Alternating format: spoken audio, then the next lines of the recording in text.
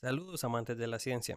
Eh, en este video lo que vamos a hacer es que vamos a aprender a montar un diagrama en Fritzing, que es una aplicación que nos muestra como tal cual en la vida real cómo se puede montar las cosas en un protoboard.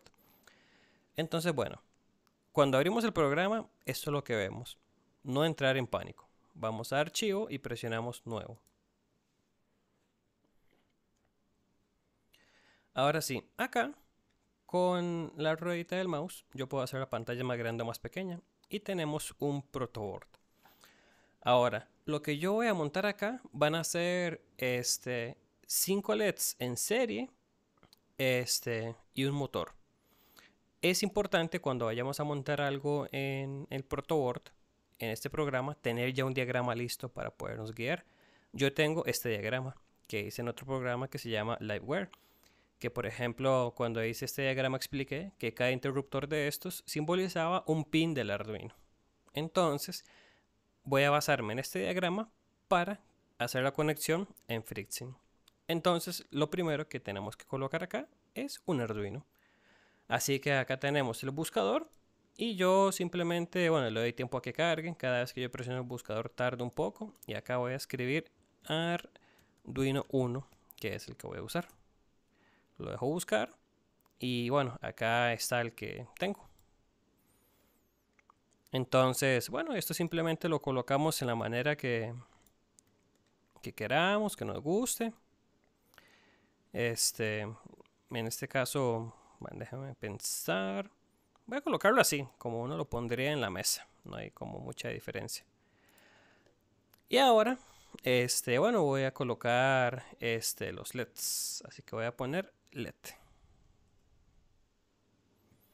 Bueno, acá me aparece la luz LED. Así que voy a agarrarla.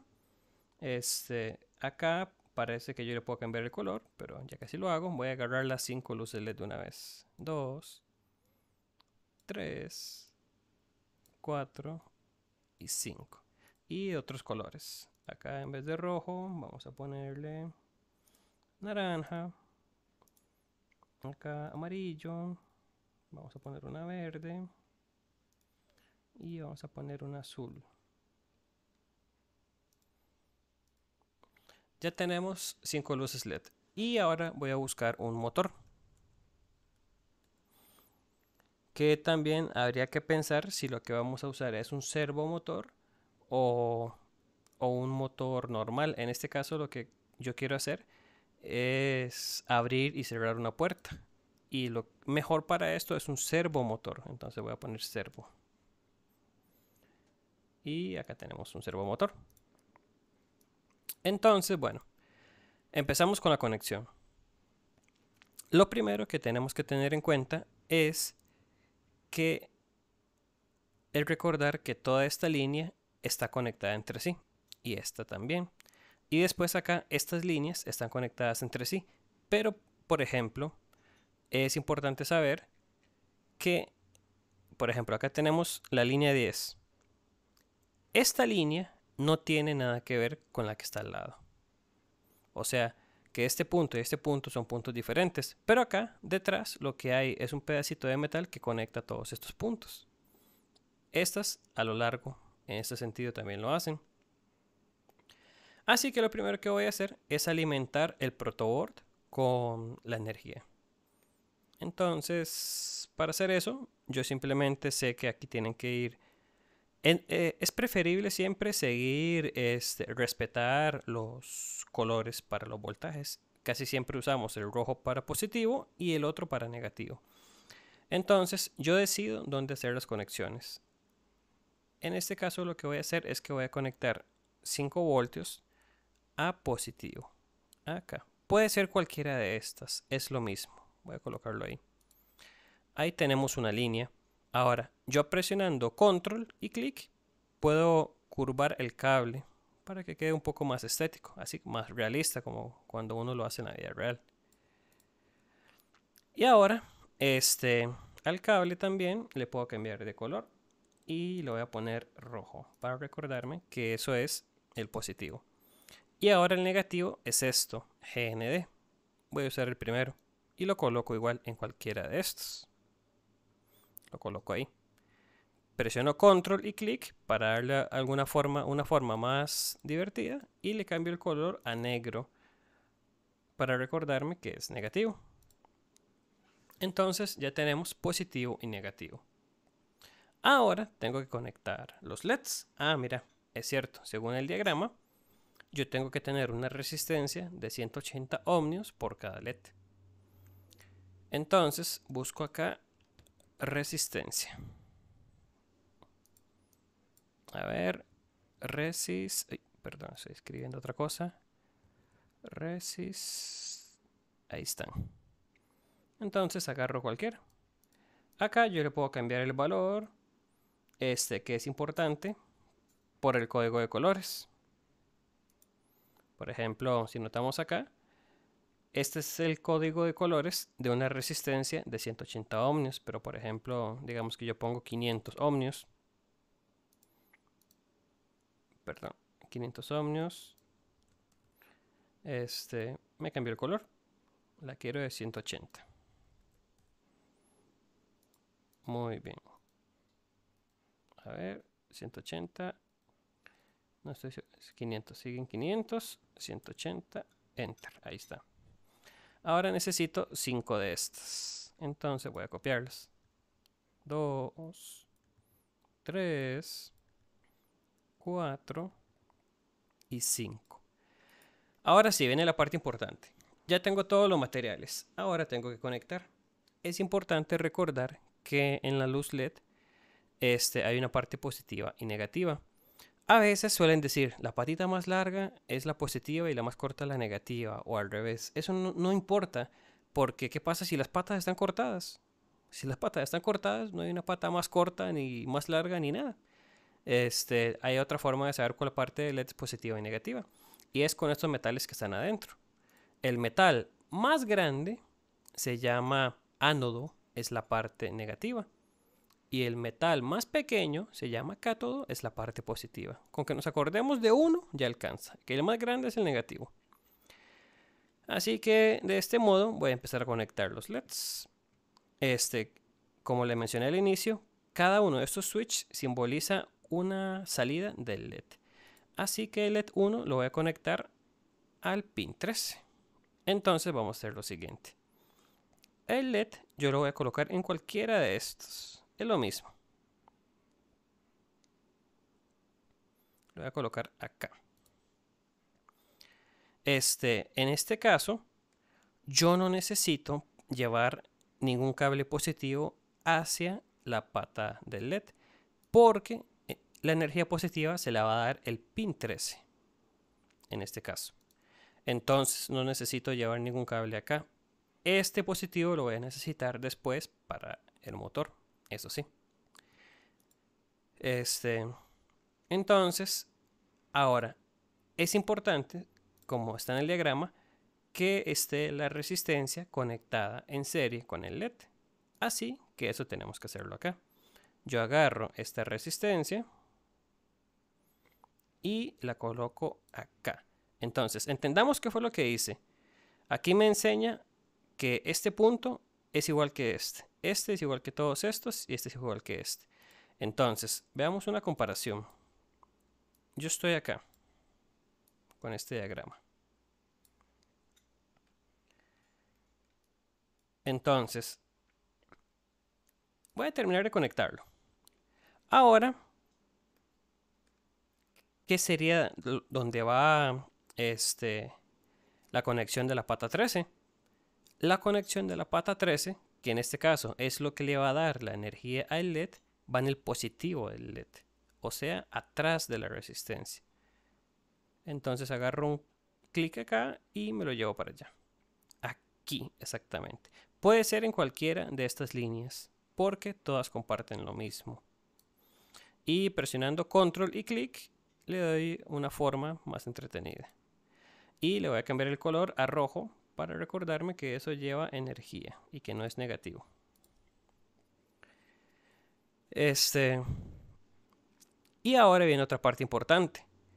Que el negativo del LED sí tiene que ir a GND. Entonces, yo no voy a conectar de acá a GND porque lleno de espacio. Pero tenemos todas estas líneas. Entonces agarro de acá un cable, clic y conecto acá. Y ahora, con control y clic le doy una forma como para entender que pasa por arriba. Una cosa así. Y lo voy a poner de color negro para acordarme que es negativo. Ahora, sé que se ve como mucho cable y así, pero uno lo puede ir haciendo más ordenado. Uno puede ordenarlo hasta donde uno quiere ordenarlo. Entonces, esto está, está así. La, el pin 13 alimenta la resistencia que pasa por el lado positivo del LED y el lado negativo vuelve. Eso es exactamente lo mismo que tenemos acá. La fuente, que era lo que daba el Arduino, en este caso el pin 13, este, pasa por la resistencia, por el LED y vuelve negativo. Sé que puede ser un poco extraño, pero esta es la manera de hacerlo. Ahora vamos a conectar el siguiente LED, el naranja. Igual lo puedo poner ahí o en cualquiera. Entonces, lo mismo. Agarro la resistencia y lo pongo en la patilla positiva del LED. Agarro el pin 12, voy a apretar control y clic acá para eso. Para variar un poquito ahí, eso. Agarro el pin 12, que sería el otro switch. En el código de Arduino yo lo habría configurado para que el pin 12 alimente otro LED y conecto hasta acá. Le voy a cambiar el color a naranja. Simplemente para recordar que eso me va a alimentar el LED naranja. Aprieto control y clic para darle una forma distinta al cable. Algo más divertido. Eso. Ahí lo tenemos. Y ahora es importante recordar que la parte negativa del LED va negativo. Si no, nunca va a funcionar. Entonces, ojo, esto es como una maña, pero no lo recomiendo. Yo puedo agarrar este cable negativo de acá y conectarlo acá. Realmente no hay problema. Porque este negativo después se conecta ya. Pero en vez de hacer esto, es mejor no confundirnos mucho y llevarlo hasta acá. Que esta línea comparte el negativo toda. Y este cable lo voy a pintar de color negro. Y con control y clic le voy a dar una forma distinta para que se vea mejor por ahí. Ahí tenemos el segundo LED. Bueno, vamos con el tercero. Ya un poco más rápido. Conectamos acá, conectamos la resistencia. Ahora el pin 11 lo conectamos acá. Control, uy, toca otra cosa. Control y clic para darle una forma distinta. Este, voy a pintar, voy a mandarlo por allá este cable. Voy a pintar eh, este cable de color, bueno, voy a mandarlo por aquí encima de todos los demás de color amarillo. El negro siempre lo dejamos para el negativo. Lo demás lo podemos variar un poquito. Y el negativo lo mandamos, bueno, para acá. Y lo pinto negro. Control y clic para darle una forma divertida, distinta. Y ahí está. Vamos con el siguiente LED verde. Conecto acá. La resistencia. Me falta una resistencia. A ver. No se me quiere agregar otro. Duplicar. Ah, se me agregaron acá. Ok. Sí, se me agregaron acá. Ahora sí. Conecto acá al positivo. Una cosa importante, pero no quiero confundirlos, es que, por ejemplo, la resistencia puede ir tanto en la parte positiva o negativa. Eso no importa. O sea, la resistencia puede ir antes del LED o después. Va a funcionar igual. Pero para no confundirnos tanto, yo prefiero ponerla antes. Ahora sí, agarramos otro cable. Sé que se ve un poco enredado, pero si cambiamos los colores y ordenamos un poco más a gusto, va a quedar bien. Ahí. Agarramos el pin 10 y conectamos acá, positivo, acá. Le voy a poner color verde para recordarme que eso va para allá. Control y clic para darle una forma distinta y más divertida. Ahí, por ahí. Y la negativa para acá. Eso. Y color negro. Ahí está. Control y clic. Y movemos todo esto. Me falta el último. LED celeste. Coloco la resistencia. Esta no la voy a usar. La elimino. Pin 9. Lo traigo hasta acá. Cambio el color a celeste. A ver si lo tengo. Eh, cian, marrón, morado. Bueno. Azul. Control y clic para que se vea un tanto distinto. Control y clic y lo muevo a gusto. Y la parte negativa va para acá. Y esto color negro. Ahora sí. Ahora, este es el diagrama en Fritzing, que lo hice un poco desordenado, pero es realista, de cómo conectar 5 LEDs al Arduino. Ahora, ¿cómo conectamos el motor? Ahora sí vamos a usar la parte positiva. El servomotor tiene, que esto no lo hice en el diagrama, en el diagrama conecté solo un motor, pero en Fritzing sí puedo usar el servomotor. Tiene tres cables, positivo, negativo y señal. Que la señal lo que hace es, bueno, que recibe lo que uno le envió del Arduino para que se mueva cierta cantidad de grados. Entonces, bueno, igual, esto voy a colocarlo acá abajo para que quede más sencillo. Bueno, o es igual, no importa, por acá. Entonces, el negativo va hasta negativo, cualquiera de estos. No sé si se me conectó para ver. Creo que no. Negativo va hasta negativo ahí. Entonces con control y clic lo muevo un poquito para que se vea mejor.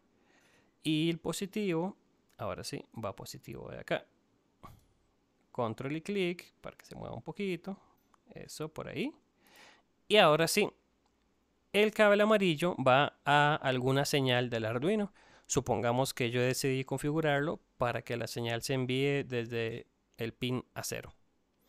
Entonces agarro esto y yo puedo conectarlo directamente al Arduino. No pasa nada en este caso. Y bueno, lo muevo un poquito para que... Ay, no, eso no era lo que quería hacer. Otra vez.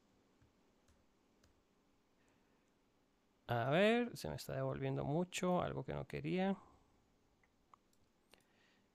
Este cable se me hizo raro. No. Para ver qué pasó. Ahí está. Bueno.